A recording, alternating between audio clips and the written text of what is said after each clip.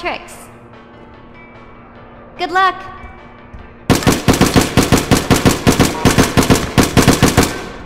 Maybe I'll talk to you once I.